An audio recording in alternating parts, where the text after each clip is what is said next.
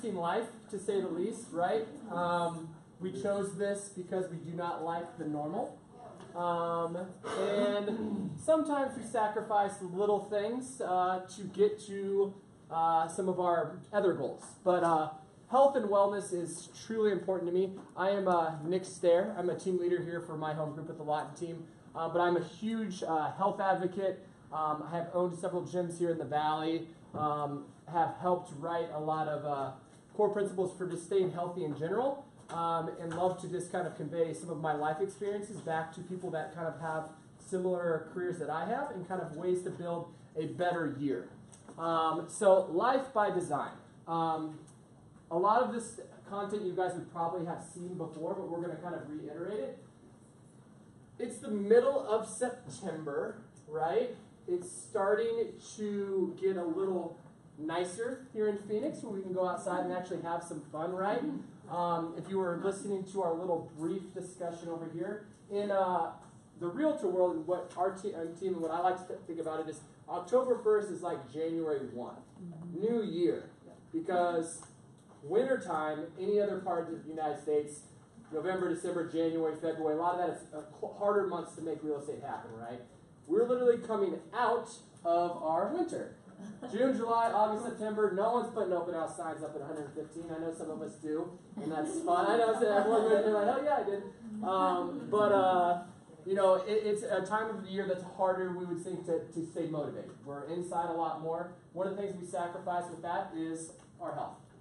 We eat less, we don't exercise as much, uh, we let stresses get to us. Our finances can take a dip uh, during the summer, so financial stress um, things tend to happen along that way. So uh, this particular presentation um, is not me educating you guys on anything you probably don't already know. I'm just going to kind of lead you down a little bit of a role and a reassessment on where you currently sit. Right? And this is really a, a choice that you guys get to make on how you want to really look at yourself. Now, we're around a lot of your peers, and we have noticed this when we've done this kind of assessments before that a lot of people have a tendency to rank themselves a little higher when they're around their peers.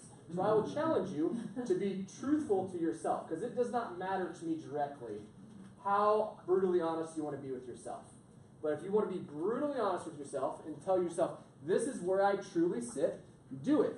And we'll have a couple tactics in here today to possibly identify the obstacles that you continuously hit, and then also a way to possibly build past those and maybe get to you where you want to be over the course of our official year. So, life by design.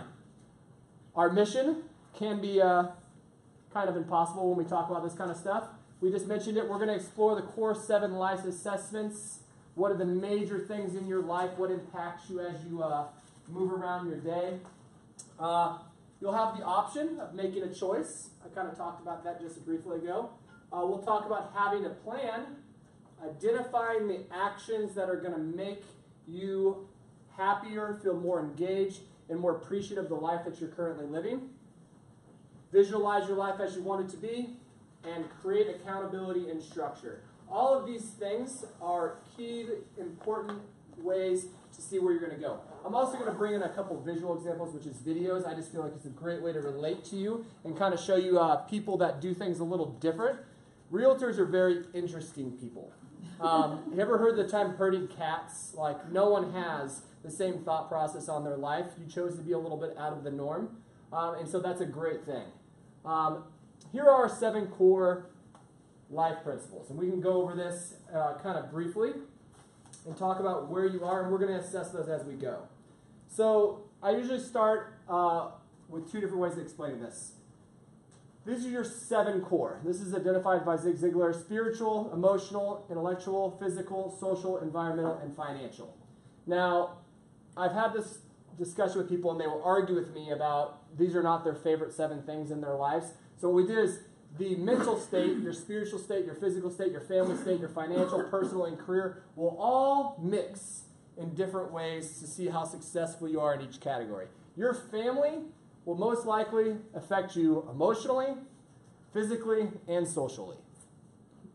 Your physical will obviously affect your physical, but also might affect you emotionally.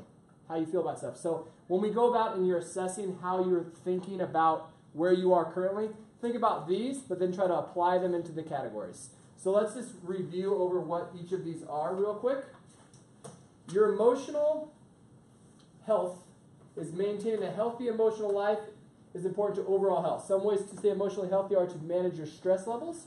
I, we're real estate people. There's no stress in real estate, right? It's pretty uh, straightforward. You just, you know, go make lots of money, don't work any hours, just hang out. Um, how many of you get eight hours of sleep? Couple. I'd say, but of the percentage, I'd say maybe that's about 30, 25% of the people. Um, sleep is very, very important. Obviously, uh, we can touch that base a little bit more. Uh, your intellectual wellness means staying curious and engaging and learning new things. Uh, creative activities, read for pleasure, be aware of social and political issues. Uh, we're not going to get into social and political issues today. Um, we'll keep that out of this. That probably would make us all very unhealthy as we had that conversation. Um, joining a club focusing on enhancing intellectual interests. Uh, who's read more than five books this year? Who's read more than ten? Anybody? I always ask because I'm curious. As the readings, uh, it's funny. Uh, over the last 20 years, we've actually seen an uptick in reading, um, which is actually a nice thing. Where in the 70s and 90s and early 2000s, it went down, um, and now we're seeing more and more people read, engaging through Audible, which is uh, you know listening to books is what I prefer. Um, driving around in the car like we all do, instead of listening to the radio, plugging in audiobooks is a great way to stay engaged intellectually. Uh, physical wellness, we all can kind of talk about that. Body exercise, eating well balanced diets, nutrition, again, sleeping, managing stress, uh, preventative medical and dental care. Uh, I will highly recommend everyone go to the dentist because everyone doesn't go, and that's a big problem for a lot of people. Um, social wellness involves having a strong social network and give your support and guidance when you are stressed. Um, environmental wellness, talking about how you feel about the people you hang out with. I think we all hear that term um, you're the, the sum of the five people you hang out with the most. Who's the environment you that you're around? Is it a positive environment or does it bring you down? Having the ability to kind of change those things is something to think about as well. We don't have to talk about this one, but we can. Financial. Um, we're all in this for business. It's competition. We all want to make money. Um, be honest with yourself on your financial assessment. Um, I even mentioned this because the youth in this room, um, under the age of 40, how many of you actually, you don't have to answer this, uh, have your future planned out financially? Our generation, I'm a little bit younger, uh, we're very, very bad at it. Do not think about the future. Only focus on today. Financial future is like, I'll deal with that in five years because I'm dealing with today. Um, and then spiritually, we're not going to argue over, uh, sorry, um, your beliefs, but one thing you want to think about is do you actually have a belief? Do you have non negotiables? Do you have values? Do you have ethics? Is this something that you stick with on a consistent basis? So I'm going to give you guys a chance to ponder those subjects, right? And uh, we're going to get into a, a quick video on visualization. I think a lot of people own a house just sort of fill their house with stuff because they're like, oh, we have all this space, let's fill it. Of all the possessions that somebody owns, I mean, only a tiny fraction actually increase their happiness.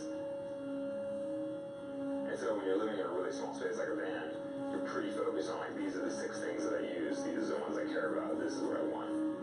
And everything else you just let go.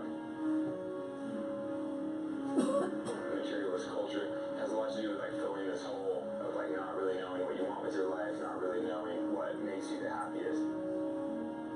If you have some kind of true passion, you don't need any of the extra stuff.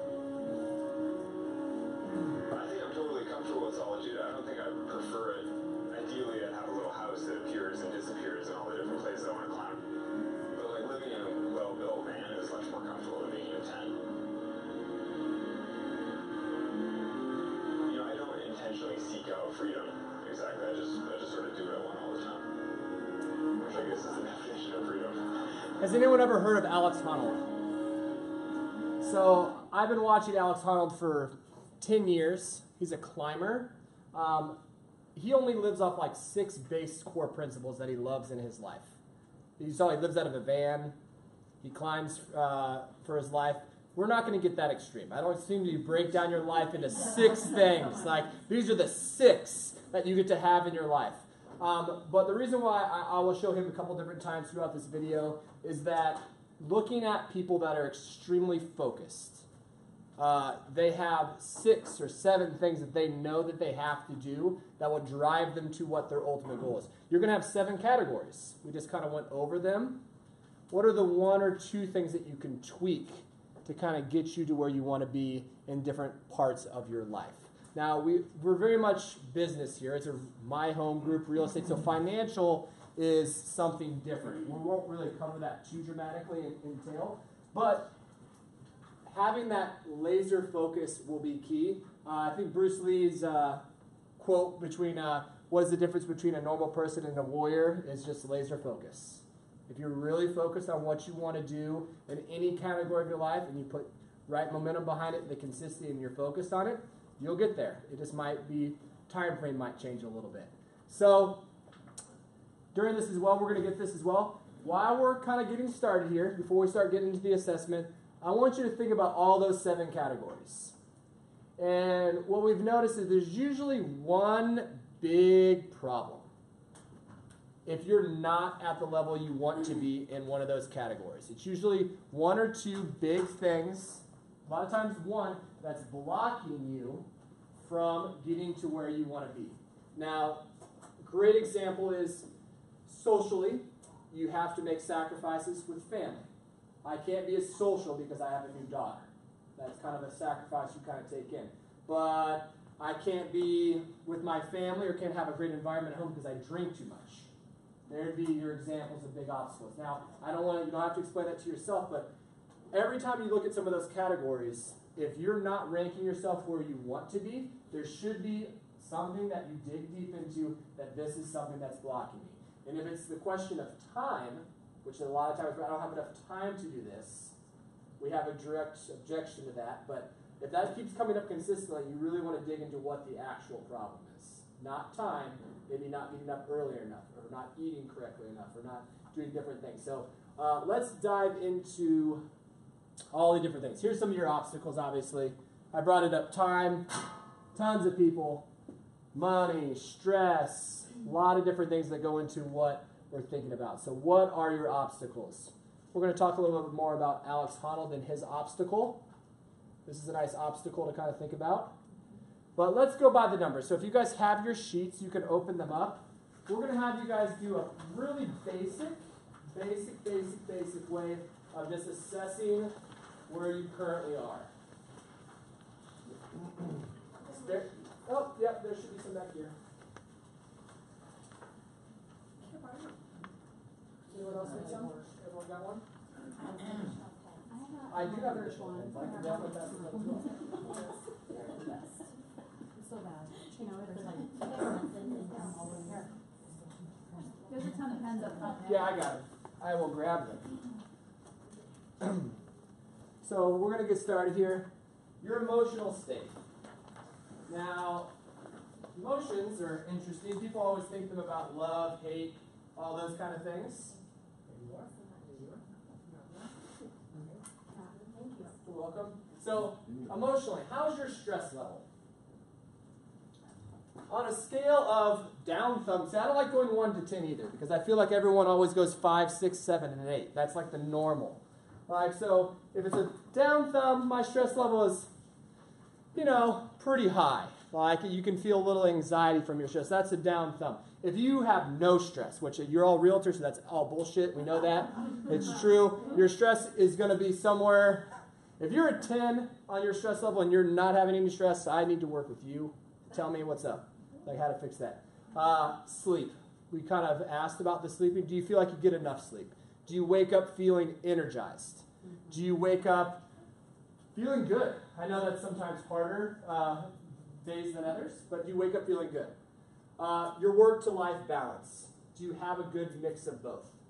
Uh, it's an interesting thing uh, looking back on some experiences that I've gone through personally and watching some of uh, people that I help coach and whatnot. Their work-life balance um, swings really dramatically two different both directions. They go heavy work for an entire week and then realize that they're burned down, or they go for 30 days and they burn it down, and then they have to go like two weeks off. Um, but with you, how's the balance? Do you feel like you get a good mixture of both each day?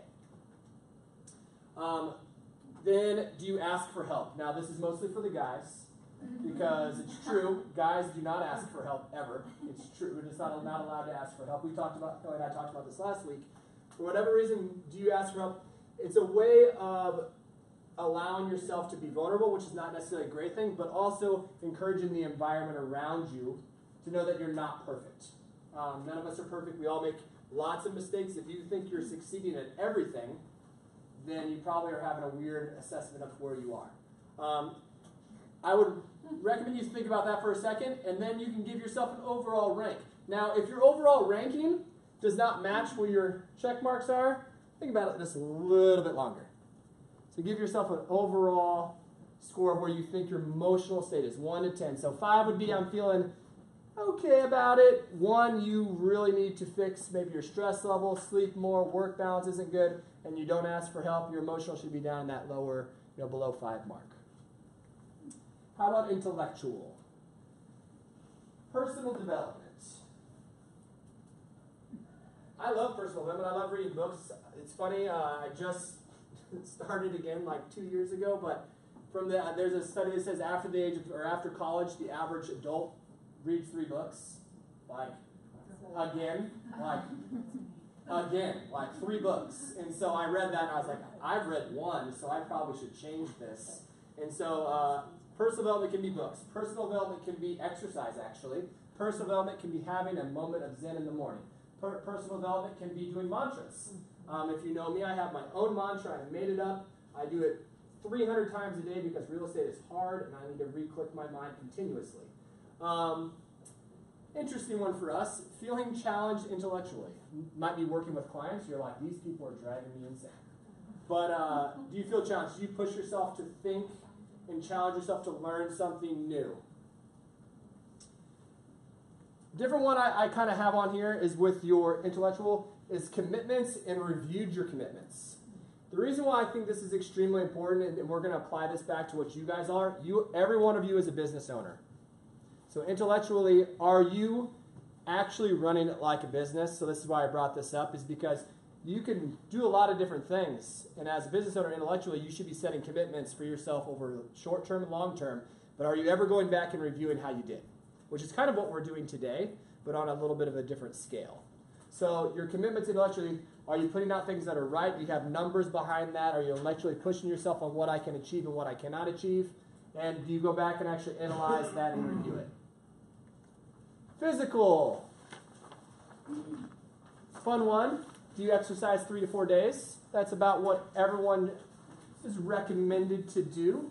Um, staying healthy and active, I think, will make your life better. If you're not healthy as far as physical and mental, what's the point of any of this, right? Nutrition, health, eat greens. People always ask me when we, my wife designs meal plans for a lot of people and whatnot, and it's hard to push people to do things, but I just ask them a real basic question: Do you eat greens? Do you eat broccoli, kale, spinach, anything like that? The answer most of the time is no. And if they do, they're covered in ranch. Like, well, that's kind of disappointing. So, uh, you know, that's not really eating greens, you're eating ranch. And so, um, but eating greens obviously is a big thing. I brought this up. Do you visit your doctor and the dentist? Um, I'm a little partial to the dental side just because I live with a, a professor of hygiene. Um, but your mouth is the gateway to your body. And I always tell this people because I know people go to the doctor when they have these major things happen. Well, your mouth actually lets a lot of those major things happen because if you don't have your mouth cleaned regularly. It just goes down. The first cause of heart attacks is usually abscess and bacteria in the mouth. Just a weird dental tip. So, do you guys do that? Again, sleep and manage stress. Recheck yourself on that and manage stress because you might have not been truthful to yourself. Where are you at? Um, social, and I know I messed this up on the slide, so I apologize. So you have to go off what I put up here because I printed it incorrectly. Uh, your social. Do you have a positive group of five? Is your five group, the people, the five main people you hang with, a positive group? I know I, I put the wrong, I changed that up, so I was changing the slide around and I ended up printing it off twice, so apologize. Um, good one. Do you laugh daily? Uh, I'm trying to remember the statistic, and I can't apologize if I get it completely wrong. I think the average baby laughs 400 times per day. The average female is like 125, and the average male is like 15. Sad, actually. Um, again, do you ask for help? No, we cry in the corner by ourselves. That's what we do. Um, do you have a passion? So, are you passionate about something? Do you have something that's outside uh, your framework of even family uh, work that you're passionate about? You actually have something that you really love to do, can do it, do it on a regular basis that gives you an outlet? Even being a part of a team, being a, like reading can be, this all kind of interjects with each other. Again, I bring it up again, sleep and manage stress, because this is the one that bothers people the most. Environmental. Are you organized? Do you feel like your environment around you is one of productivity? Or do you, when you go to work each day or go to home each day, you feel like you have to clean your desk? That's a whole real estate funny thing. It's just like I had a really productive day. I cleaned my desk, like it's a mess. Like, so do you feel organized? Um, do you volunteer? Do you help others? And do you feel connected? These middle two, do you volunteer? I'm not saying that you have to go out and like work at a homeless shelter to be a successful environment. What it's supposed to be recognizing is do you feel like you're contributing to the better half or the bigger half, or however you want to describe it? Um, and which goes into do you feel connected? One of the really sad things that we see in our generation is uh, the more and more connected that we get, the less and less connected that we are with individuals that are around us. So we feel like, oh, I, I watched this person on Facebook, I saw their YouTube video, I was on Twitter, I checked this, and we feel like we really know people, but we're not actually connected with them because we really have nothing. We only see a lot of this, yay, I'm special. You know, like look at this little glossy picture that I put up that I spent 30 minutes making sure that you like it. Uh, but uh, do you feel connected to people? And uh, being part that this is your business, we talked about this, we might as well relate it back. If you're not staying connected with the people that you like and love, business might suffer in that direction as well. Financial, we'll keep this very, very simple. How's your financial health currently? How's your financial stress currently? And how about for the future? On both. Now, your now the, people always ask me the health and stress, like what's the difference? Well, if you're financially healthy today, that means you probably have, you know, you feel comfortable, you can live good. But are you stressed about how you're living? Do you feel stressed that I might overspend or I know I need to make sure I save more? I have these bills coming up that I need to make sure that we have for. In real estate, we're a 90 day business. You have a 90 day flop and you're trying to financially stay healthy. Do you have those 90 days? Do you feel like that's good? And I brought this up earlier about the younger generation's financial health or future, and are you stressed about that? You could have zero health in your financial future and not be stressed about that. Hmm. That's a real thing. Like you could be like, I have, no, I, I'm literally not healthy. I'm a one on financial health in the future, but I'm not stressed about it either. So I'm a ten. you don't even think about it. Like that's just out of your mind. Something to think about as you do your overall ranking of your financials. And lastly, spiritually, not going to get into crazy subjects that, you know, could be a lot longer, but do you feel connected? This is with yourself, who you want to be, how you want to live your life, where you want it to go. Do you understand you? It's an interesting question because I think that changes pretty regularly on who you think you are. Um, do you pray, meditate, and relax? you don't have to do those things to actually have a clear mind. You can do that through other sources. So they kind of bring it up as this is a way for you to kind of relax and enjoy yourself. And do you explore? That mostly has to do with yourself as well. Do you put other thoughts, different people's opinions in your own shoes and to see how you interpret them? Um, one of the great books that I'm working myself through again is Principles by Ray Dalio. He's a uh, billionaire investor, kind of redesigned the financial market. One of the ways he describes people is there are people that can do all different types of things, but people that are shapers can explore themselves and figure out, hey, I'm a little off here. And that's really what we want you guys to do here today. If you guys were, this is actually would be a good uh, check mark. You're exploring yourself right now, kind of figuring out what you guys think of that kind of stuff uh, and where you currently are spiritually. So we talked about it here. Here's our mission again. We're going through it. We just explored our seven core principles. Now, interesting part, you kind of know where you are. You have to make a choice. Is that choice going to be to improve some of those categories that you're lacking on, maintain where you are, or are you going to go back? I love this quote. I've used it a lot. Uh, there's no neutral in this life. You're either moving forward or you're falling back. There's no such thing as staying where you currently are. You're either going to go forward a couple steps or you're going to go right back to where you started off three years ago, right? We'll get a little bit more into Alex Honnold here. So,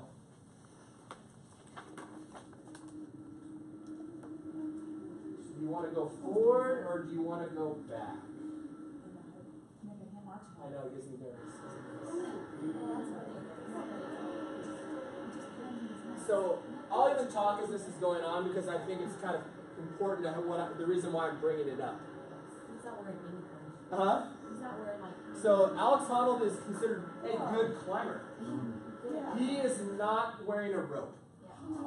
This is called free soloing. Oh, that's sick. Wow. If you've never seen it before, it is incredible. The mental capacity of what he's able to visualize. Oh my god. He has six things in his van that he knows he needs to survive this. Oh. If he messes up and he doesn't do something correctly on this, his consequence is one big thing. It's over. He knows this. Oh my gosh. He is 3,500 feet up, and after the 30th step, you go up 30 feet, there is no turning back. You either go up or you're coming off the wrong way. Oh my god. It's incredible. Absolutely incredible mental fortitude. Oh, for sure. The reason why I bring this up, because I love watching stuff like this because it's incredible. I'm afraid of heights. Like my palms are sweating. Like I watched it last night at like 11 o'clock and I was really tired and I had like this anxiety hit me and I was just like, but when you look at him, he is no different than you, you, you, you, you, you. There's no difference. He's able to accomplish things that the human never thought they could do because he has dreamed about it his entire life. He's up here.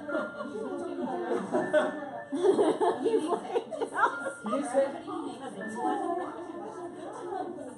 But I'll ask you guys all this, and you think about it right now. Do some of you not feel like this in some of those seven categories of your life? Are you are you standing on a wall, looking at the end of everything, financially, emotionally, family wise, relationship wise? If you don't take those next steps to get to where you want to go, and those categories are your life, are you going to die? The answer is no to 99% of those things you guys are asking yourself right now. So, 2,500 feet. The crazy thing about this is he does some of this so fast. He climbed, uh, if you've ever been to Yosemite, El Capitan, it takes 17 hours to do it. He did it, or by a good climber, like by an experience with ropes. He did it in three and a half hours. No, no rope. It's crazy. So his big obstacles is a giant wall in front of his face. And he says to himself, I can either go up and go over it, or I'm just not going to do anything. Okay? So you've all written down your assessments on some of your seven categories.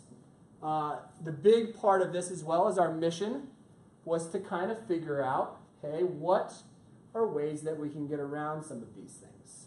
So I give you a challenge right now. Your big obstacles. It's not a giant rock wall in your face. It's most likely some very small, subtle changes that if you make them and actually commit to them and do a couple little things, you will actually get past something just as big as El Capitan in your own mind. Just as big. So, what are your big obstacles? Take some time to think about it. If you're an 8 and 10 in some of those categories, because I'll be honest with you, I'm not an 8 and 10 in anything. Not one category am I an 8 or 10 in. If I could isolate just my, my wife and my daughter, 10. But that doesn't count. It's just that. It incorporates a lot of different things that go into my life. So I'm not here to tell you how to do those things, but really think about it. Where are you at with all those things? So if you're an 8 and 10, maybe pick one thing that you can do to stay the same. If you're there already, keep it. Like if you're intellectually like, I read 20 books a year, I, I push myself, health and fitness ladies, probably physical is really high up there. You don't have to change that much, but staying consistent is an easy one.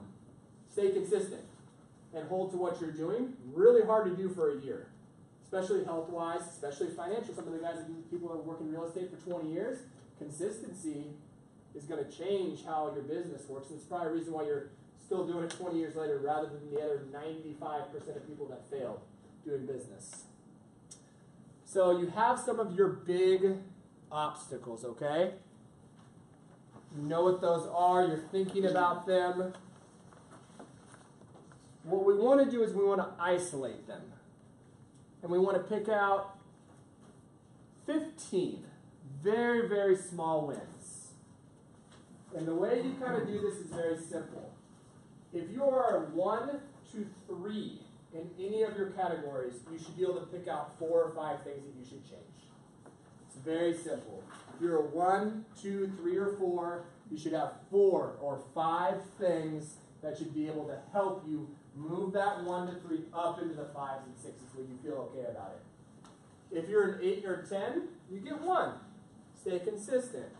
Okay? If you're a five, six, or seven, you should probably be able to come up with three things that are small wins. Now, going back into how I actually pick out the things that I'm supposed to do. Emotionally, if you're having struggles emotionally, no, looking at what we talked about in the beginning, going back to that original slide with emotion. If you're lower in that, figure out ways to and get rid of stress, adding sleep, working your work life balances. What little small steps can you take to make those to where you need to be? Is that making sure you leave work at 5:30 at night certain days a week? Is that making sure you're at dinner every night, making that consistent? We're going to talk about the plan to actually get that to happen. But are those small little steps? When you go into intellectual, is it reading a book once a month? Remember, these are goals that are going to last for about 30 to 90 days. If it's physical, which is a lot of times one of the ones that we all want to figure out the most, if you exercise, if you're one a four, and on your one of your activities is go to the gym four or five days a week. Um, some of my health ladies that are going to talk here, and you, I highly recommend staying to, to listen to their uh, their great insight. Going from no days of working out to five days of working out is really tough. Um, so, like, if you broke it down in your health, a one, two, three, or four, one of those instant activities that you can do is A, find a workout partner would be a good one. B, sign up for a gym. Number two would be go to the gym for the first time. Like, that's two separate activities. Like activity one, find a gym that I like. Activity two, go to the gym that I like. Activity three, go to the gym twice, and that would be three of your activities. Does that make sense? For social, same kind of concept. One of my lowest categories social right now. I have a, a, a, new daughter, so I spend a lot of my time at home. So my social aspect of my life is very restricted. Um, so mine is funny where I just have phone conversations with people that kind of talk about life more. That's an easy activity for me to that makes me feel more connected because it's pretty much work, wife, daughter, or more daughter, work, daughter, work, daughter, wife, and then kind of moves back and forth with that. So having those kind of things. The laugh one is interesting because I know we mentioned it. The guys don't laugh. I actually spend about five minutes reading some funny stuff or just something that I find curious and get me a little, you know, happiness that's the size if you had a crappy day and two deals didn't close and this bullshit. I'm like, okay, I'm going to watch a little Kevin Hart for a little bit and make me laugh. Or go back and watch some George Carlin and let him tell me how crazy the world is, and it still applies amazingly enough to today. Um, your environment. This one I actually think is probably the one that's more impactful on all the others. It's amazing what people do to how you feel about yourself.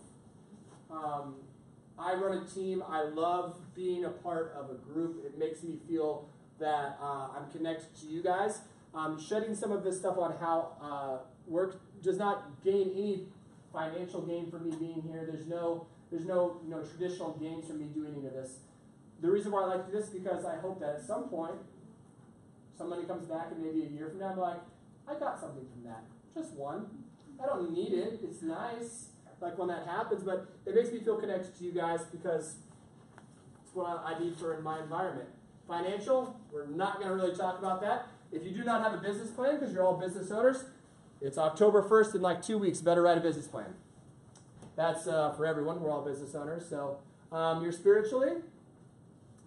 I really like this one. Honestly, pray, meditate, relax.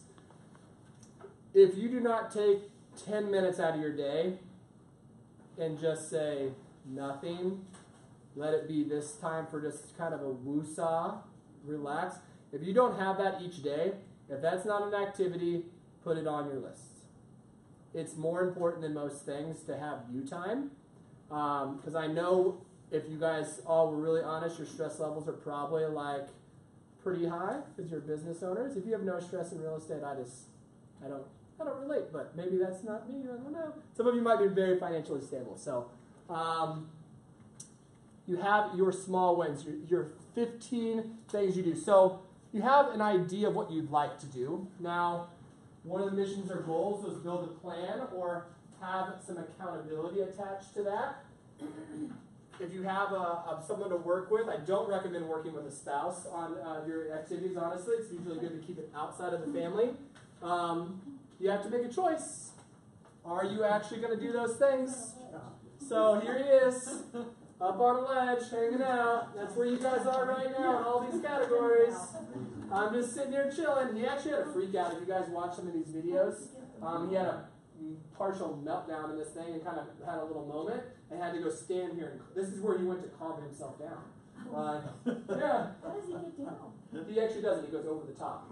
So he achieves his goal every time. So he's never he's never fallen so far. There's actually a, a, a I don't know if I actually played it, but uh, but he has to get down at some point. They, they you go over the back. You can actually go, you hike down, Oh, and then there's there's people obviously filming and you can get down if you need to, but they usually hike down the backside is how you actually do it. Um, but you have to make a choice. Are you going to go forward, or are you going to go off? Because that's where you're at right now. Some of them might not be decisions of falling off a cliff, but are you going to make a decision to go over your obstacle? So, how do you do that? Accountability is a nice thing if it's built into your business, but a lot of this cannot be done uh, with a lot of other people. You're going to do it by yourself. Some of you have already probably do these things. I love goal boards. It's a nice way for me to visualize my I have a, a 90 day, I have a 12 month, I have a five year, and I have a 20 year. All different goals on all different, all of them. They all match different and kind of intertwine. Um, but I'm the type of person, if you know me, that I have a really hard time being laser focused. Like I'm like focused on 60 things at once. If you go to like my computer tab, I have 30 of them open. Yeah, there's some people like that in here, I'm sure. And like there's other people that have two and they have to delete them and they move on. Well, you have your 15 activities, okay? Or if you can, if you get to 15, the goal of them is just to win the day. Now, some of those might not be a daily activity. You want to do it over a week, which is fine. But if you have 15, your goal is to win the week, right? Which is just 8 out of the 15. So, what you do, two different ways. If you're visual and you're very kind of old school, you can build a to do, doing, and done board. It's a really super basic way of being efficient, especially when it's your own personal stuff. You can apply this to business if you want as well. You take your 15 things, you put them on Mondays or Sunday nights or however you like to do it, and you put it on to do. And every day you come back, you're allowed to have three things max on doing. You're only allowed to do three things at once. Now, the interesting about the activity that we're doing today some of those might involve, like we said, multiple gym visits or doing things over a course of the week. So you break that down into four subcategories. So gym one, gym two, gym three, gym four. And they all go on to do do. Then you move it over to do, then you're done. Now, if you don't like the visual board, which is actually the way I started doing this, and it's on my house thing with just basic activities.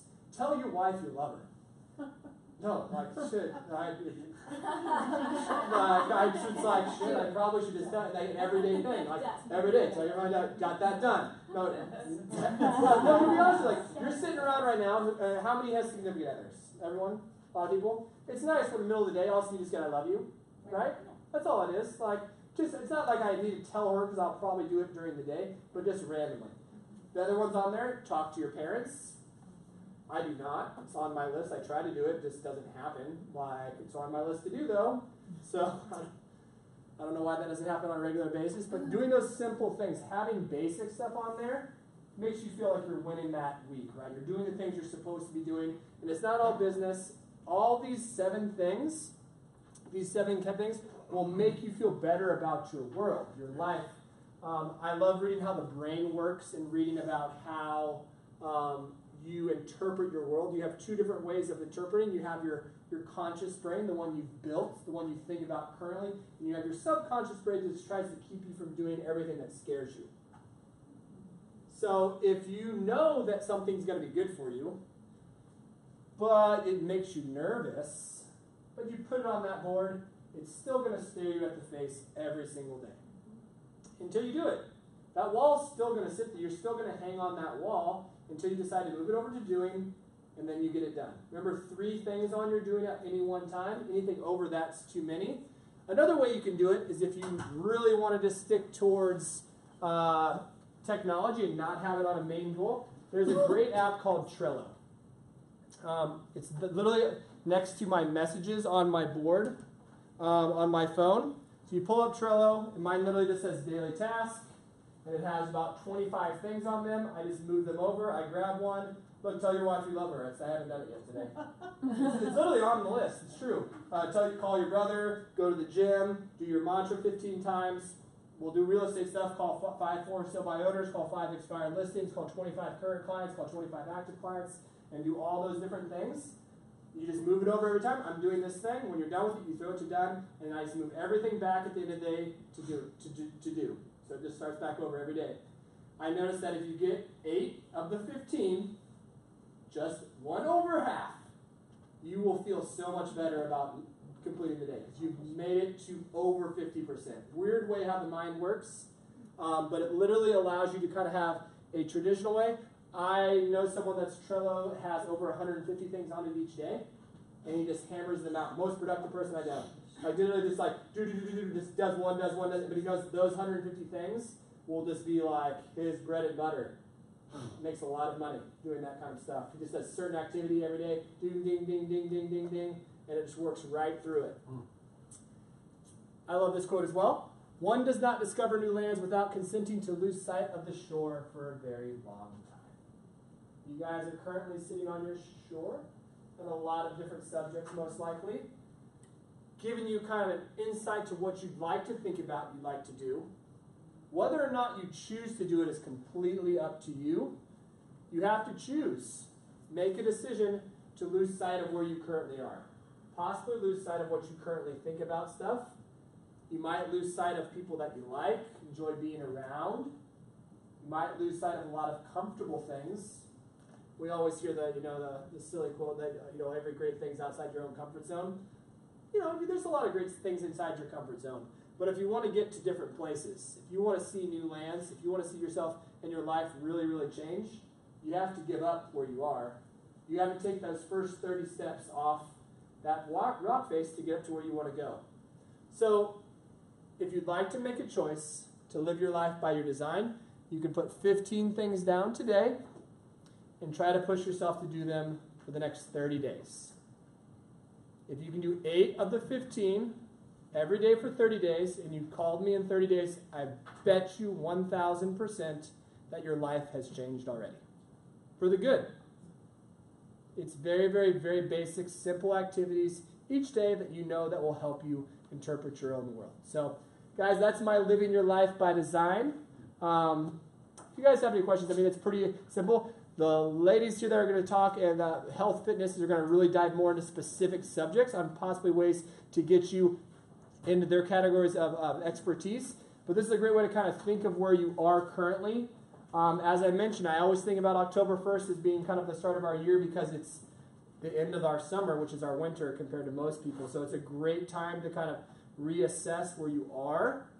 And then from that point, I actually put some activities in place to really kind of see your next 12 months, next six months, next 90 days be what you want it to be rather than hitting it with wherever you, you know, sporadically as we got to go. So hope you guys found it to be somewhat informative. And you guys can take a break. Thank you guys so much. Appreciate your time.